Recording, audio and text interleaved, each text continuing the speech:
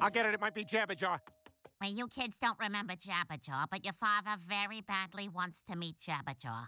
It came! My hammock came! Yay, you brought loud energy into the dining room. Why did you get a hammock, Peter? Well, the year 2020 was a terrible year for the Corona Beer Company, so they had to sell off all their TV commercial hammocks. And owning a hammock from TV has always been my third biggest dream. My first big. Meet Jabberjaw. Okay, you know about Jabberjaw. And then my other dream is to be an NFL referee.